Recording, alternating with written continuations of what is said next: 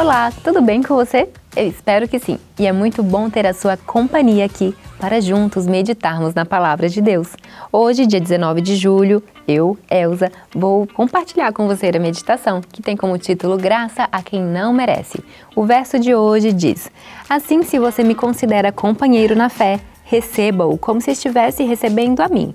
Se ele o prejudicou em algo ou lhe deve alguma coisa, ponha na minha conta. Filemão 17, 18 no romance Os Miseráveis, publicado em 1862 pelo escritor francês Victor Hugo, Jean Valjean é um pobre campesino condenado a 19 anos de prisão por ter roubado um pão. Ao ser liberto, sofre rejeição da sociedade e passa a dormir na rua. O rumo de sua vida somente muda quando entra em contato com o bispo Miriel, que o acolhe em casa. No entanto, em vez de se mostrar agradecido, Valjean rouba os talheres de prata do bispo e foge. Pouco tempo depois, é preso e levado pelos policiais à presença do religioso. Além de não acusá-lo, Miriel o salva, alegando que a prata foi um presente. Após essa demonstração de bondade, Valjean se torna um homem de bem.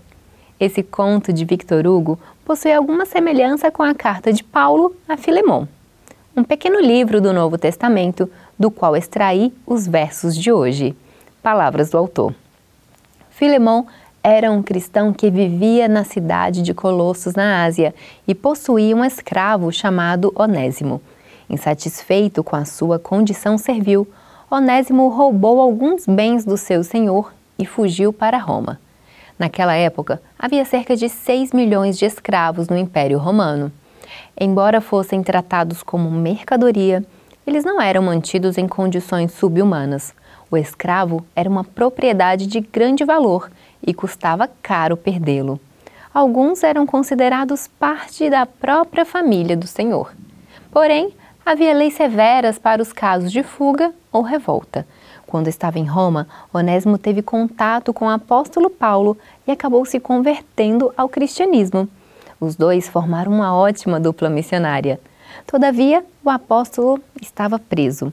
Quem cuidaria do jovem Onésimo? Com todo o amor do mundo, Paulo escreveu uma carta a Filemão, solicitando que perdoasse o seu antigo escravo. E caso Onésimo estivesse devendo alguma coisa, o próprio Paulo pagaria. E você? Perdoaria um ladrão? Contrataria alguém com um currículo manchado? Não sabemos qual foi a reação de Filemão ao receber Onésimo de volta. O que sabemos é que tanto Miriel quanto o apóstolo Paulo escolheram o caminho do amor e do perdão. Isso é graça aos que não merecem.